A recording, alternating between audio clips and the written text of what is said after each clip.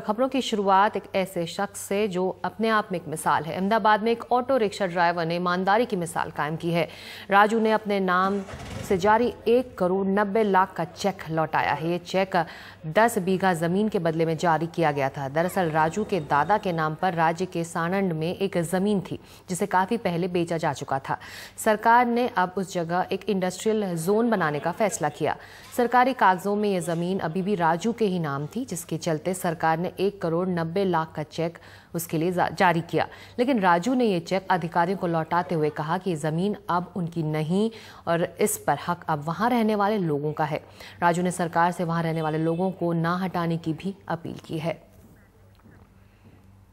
तो अपने आप में ईमानदारी की मिसाल है राजू, जो खुद एक ऑटो ड्राइवर हैं। मेहनत से अपनी रोज़ी रोटी कमाते हैं और जब उनकी ज़मीन के एवज में सरकार ने एक करोड़ नब्बे लाख का चेक जारी किया तो ईमानदारी की मिसाल कायम करते हुए राजू ने ये चेक लौटा दिया।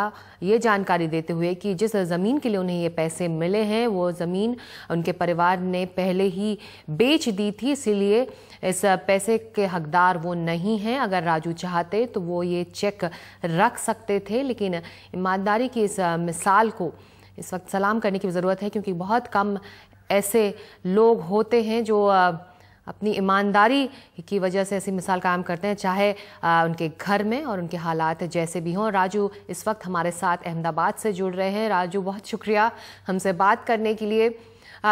जैसे कि हम लगातार अपने दर्शकों को बता रहे हैं कि बहुत कम ऐसे लोग होते हैं जो ये काम कर पाएँ। आपको क्यों लगा और कैसे लगा कि आपको ये चेक लौटाना चाहिए? क्योंकि हम, हमारे मम्मी ने, हम जब छोटे थे, तब से मजदूरी कर रहे थे। तो हमने ये सब देखा कि हमारी मम्मी कैसे मजदूरी कर रही थी और कैसे हमारा घर चलता था। तो यो हमारे बाप दादा ने पहले 25 साल पहले ये ज़मीन बेच डाली थी 9000 में। तो वो अभी जीआईडीसी में संपादन हो गई वो ज़मीन। तो वो ज़मीन जीआईडीसी में संपादन हो गई है तो उस ज़मीन का चेक हमारे यहाँ आया था। हमको नोटिस मिली थी कि आप आप आके पैसा ले जाओ जी एक ला, एक करोड़ नब्बे लाख का चेक जब आपके घर पहुँचा, आपके पास पहुँचा, राजू तो आपकी माँ ने क्या कहा आपसे? हमारी माँ हमारी मम्मी ने कहा कि ये चेक जो भी आया है, अपने वो इस चेक के हकदार नहीं है। भले अपने बेच डालिए पहले, अभी अपने ना, खाते में अपने नाम से चलता है ये, लेकिन अब मेरी मम्मी ने बताया कि अभी तुम तुरंत जाओ और जीआरडीसी की ऑफ़िस में जाओ और तुरंत उनको बताओ कि ये ये ज़मीन हमने पहले बेच डाली थी और उसमें अभी 25 20 25 मकान है। और हम चेक ले लेंगे तो सब गरीबों का क्या होगा? अपने आप, अपने भी झोपड़े में रहते थे और आज भी रहते हैं। और हम अपना जीवन कैसे गुजारते हैं, अपने जानते हैं। लेकिन तुम अभी जाओ और जीआरडीसी में जाकर अर्जी देकर आओ। कि हमें ये चेक चाहिए नहीं इसके हकदार हम हैं नहीं। तो मैं जीआईडीसी की ऑफ़िस में गया आसम रोड पे और वहाँ जाके लिखित में अर्जी दी। तो बोला कि ये चेक जो आप आया है वो चेक कैंसिल करो हमको ज़मीन जीआईडीसी में देने की नहीं है। जी। तो हम वहाँ जाके अर्जी दी के आए फिर वहाँ गांधीनगर गए। गांधीनगर में भी उद्योग भवन में दी। फिर यहाँ भीमजीपुरा में एक ऑफ़िस है वहाँ गए। राजू आप कह रहे हैं कि आपने अपनी माँ के माँ के कहने पर ये चेक लौटाया लेकिन जैसे कि हम सब अब देख रहे हैं कि आप एक ऑटो रिक्शा चलाते हैं आप आसानी से गुजारा होता है आपके परिवार का इस इस प्रोफेशन से इस ड्राइवरी से या फिर मुश्किल है?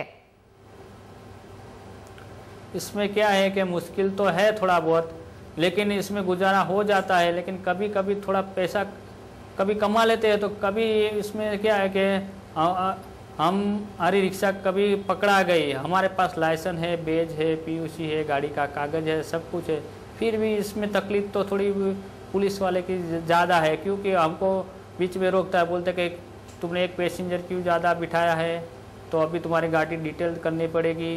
जी। तो वो जब डिटेल करते हैं तब दो हज़ार पच्चीस सौ हो जाता है। नहीं तो फिर बोलते हैं कि पाँच सौ रुपया दे दो तो तुम्हारी गाड़ी जाने देंगे।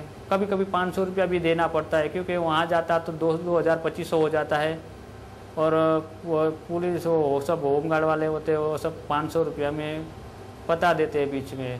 तो जो कमाते हैं अक्खे दिन में, दो दिन में जो, वो एक दिन में कभी कभी ले जाते हैं। तो राजू, आप कह रहे हैं कि बहुत मुश्किल से गुजारा होता है, और फिर भी आपका मन एक बार भी नहीं इस डोला की आप ये चेक वापस ना करें। ये बताइए कि आप अखबार पढ़ते होंगे, टेलीविज़न न्यूज़ चैनल्स देखते होंगे, ईमानदारी का ज़माना नहीं है, लेकिन आपने अपने अंदर ईमानदारी कैसे ज़िंदा रखी हुई है? हाँ मैं अखबार भी पढ़ता हूँ, न्यूज़ भी देखता हूँ, लेकिन फिर भी हमको ऐसा कभी नहीं हुआ कि मेरे परिवार को भी ऐसा नहीं हुआ कि ये पैसा हम ले ले और अपने उसकी नई ज़िंदगी शुरू करें। ऐसा हमें कभी ऐसा नहीं हुआ। जी, आपको सलाम और आपकी ईमानदारी की जो ये मिसाल है, अब, देश, देख रहा है और समझ रहा है। बहुत शुक्रिया, एनडीटीवी इंडिया से बात करने के लिए राजू आपका।